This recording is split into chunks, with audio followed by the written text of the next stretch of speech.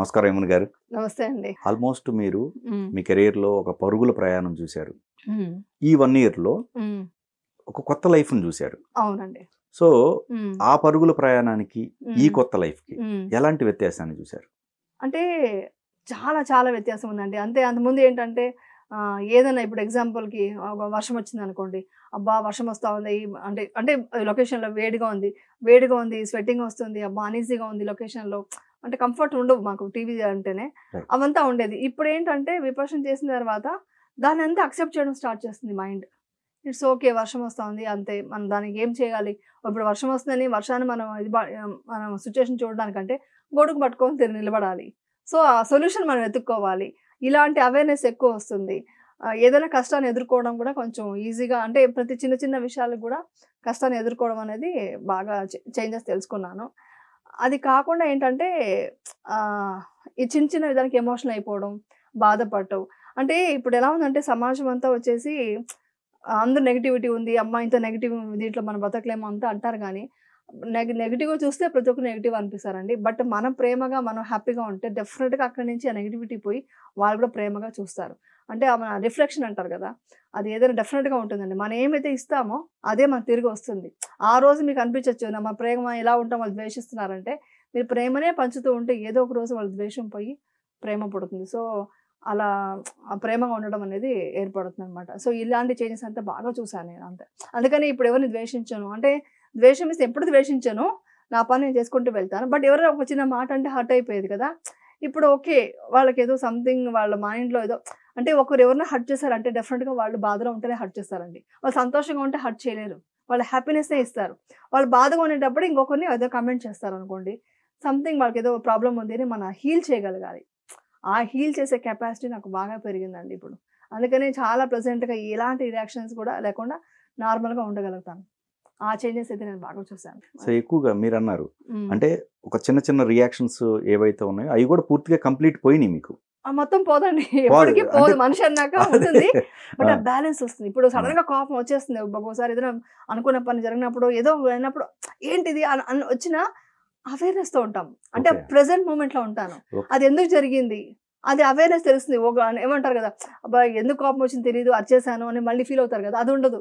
With in సెకండ్లో okay ఇది జరిగింది కదా ఇప్పుడు ఏంటి? సొల్యూషన్ వెతుకుతాం అనమాట ప్రాబ్లమ్ని చూడకుండా దాంట్లో సొల్యూషన్ ఏముంది? దానికి ఏంటి ఆప్షన్స్ ఏమున్నాయి? మన దగ్గరే ఉంటాయి ఆప్షన్స్.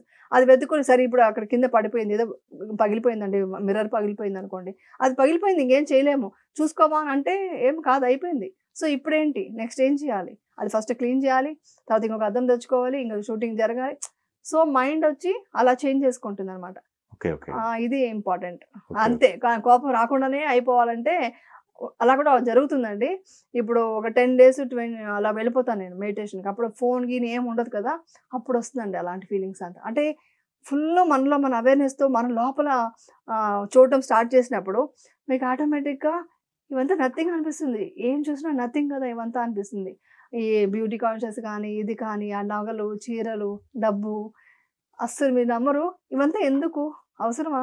ఏముంది? నథింగ్ కదా ఏం? అసలు శాశ్వతం కాంది ఏమీ లేదు. శాశ్వతమైనది ఏం చెప్పండి చూద్దాం. ఏమీ లేదు కదా. అన్నీ వెళ్ళిపోవాల్సిందే. అన్నీ మళ్ళీ కొత్తగా ఒకటి పుడుతుంది పర్మనెంట్ ఏది లేదు. పర్మనెంట్ ఏది లేదు. సో ఆ ఫీలింగ్స్ అన్నీ వచ్చేస్తాయండి. బయటకు వచ్చాక ఇంక తప్పదు కాబట్టి మనం ఈ సమాజంలో ఉండాలి. ఫ్యామిలీ ఉంది కాబట్టి కొంచెం ఆ సంసారం దీంట్లో పడినప్పుడు కొన్ని ఎమోషన్స్ కొంచెం వస్తుంటాయి. బట్ అవేర్నెస్తో ఉంటాం అంటే ఇది తప్పు అని తెలుస్తుంది. మైండ్ ట్రిగర్ చేస్తుంది. Okay okay. ఇమ్మీడియట్గా వెనక్కి వచ్చేస్తాం అనమాట దాని నుంచి. మరి మరి ఈ డబ్బు ఉందండి డబ్బు పరంగా చూసినట్టయితే ప్రతి నిత్యం పరిగెడతానే ఉంటాం డబ్బు కోసం. ఆ- లైఫ్ను చూసారు మీరు. అవును అవును. దాని తర్వాత మరి అది ముఖ్యమా కాదా అసలు. మనిషికి? కరెక్ట్గా దీనికి ఒక క్లియర్గా మీకు. స్ట్రాంగ్ అర్థమైతే వాళ్ళకి అర్థమైతే చెప్తాను. ఓకే. ఒక మనిషి హ్యాపీగా ఉండాలంటే జాయ్ఫుల్గా ఉండాలంటే ఫస్ట్ కావాల్సింది మనం హెల్త్ బాగుండాలి. ఓకే? హెల్త్ బాగుండాలి.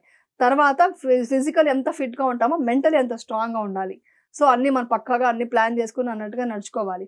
దాని తర్వాత వచ్చి ఆర్థిక అదే డబ్బులు ఫైనాన్షియల్గా మనం స్ట్రాంగ్ ఉండాలి. ఈ మూడు ఉండి మన సంఘజీవి మనిషి అంటే ఆ సంఘజీవి అంటే ప్రతి మనిషి దగ్గర మనం ఒక ఎమోషనల్గా కనెక్ట్ అవుతాం అనమాట సో మనం ఓదార్చడానికి ఒక మనిషి కావాలి. ఇవంతా ఉంటే హ్యాపీగా ఉంటాం ఓకే?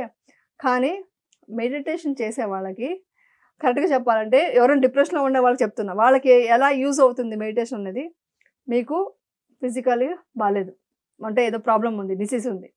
మెంటలీ ఫుల్ డల్గా ఉన్నారు మీకు ఎమోషన్ సపోర్ట్ చేసే వాళ్ళు ఎవరు లేరు. అంటే మీరు ఒక అనాథ అనుకోండి అలా ఉన్నారు. ఫైనాన్షియలీ వీక్ ఏమీ లేదు. తర్వాత ఎవరు సంఘజీవి కూడా లేదు ఎవరు మీరు ఇది చేసేవాళ్ళని లేదు మేము కన్సోల్ చేసేవాళ్ళు కూడా ఎవరు లేరు. ఇవన్నీ లేకపోయినా మెడిటేషన్తో హ్యాపీగా ఉండొచ్చు. ఈ విషయం ఎంతవరకు ఎవరు చెప్పలేదు ఇంత స్ట్రాంగ్గా నేను చెప్తున్నాను. ఏమీ లేకపోయినా హ్యాపీనెస్ అనేది లోపలే ఉంటుందండి. ఒక క్యాన్సర్ పేషెంట్ కూడా మెడిటేషన్ స్ట్రాంగ్ విపర్శన మెడిటేషన్ లాంటివి చేయగలిగితే ఆ క్యాన్సర్ పేషెంట్ ఎదుర్కోవడానికి ధైర్యం వస్తుంది. అంటే ప్రతి ఒక్కటి అక్కడ మాకు నేర్పించేది ఏంటి? కోరిక ఉండకూడదు ద్వేషం ఉండకూడదు. సో ఆటోమేటిక్గా మీకు ఆ ద్వేషం ఏంటి? ఆ పెయిన్. ఆ పెయిన్ ద్వేషిస్తాం మనం. అది తట్టుకునే కెపాసిటీ పెరిగిపోతుంది. రమణ మహర్షి గారు మీకు ఎగ్జాంపుల్ చెప్పాలంటే విపర్శన మీన్స్ ఆల్మోస్ట్ మెడిటేషనే కదండి ఏదైనా. ఆయన వచ్చేసి ఆయనకి ఆపరేషన్ చేసినప్పుడు అనస్థేషియా లేకుండా ఆపరేషన్ చేయగలిగారు. ఎలా చేయగలిగారు చెప్పండి? దాన్ని ఆయన అక్సెప్ట్ చేశారు. ఈ పెయిన్ ఉంది అని అబ్జర్వ్ చేయడం స్టార్ట్ చేస్తే పెయిన్ వెళ్ళిపోతుందండి. ఓకే. అందుకే ఇప్పుడు ఎప్పుడో నాకు చాలా కష్టంగా ఉంది అనీజీగా ఉంది పెయిన్ఫుల్గా ఉంది అని అంటే ఆ టైంలో వచ్చేసి నేను డెఫినెట్గా మెడిటేషన్ చేసి ఇవంతా శాశ్వతం కాదు ఎవ్రీథింగ్ విల్ గో అనేసి నేను ఎప్పుడైతే మెడిటేషన్ స్టార్ట్ చేస్తానో within one hour one hour meditation చేస్తాను.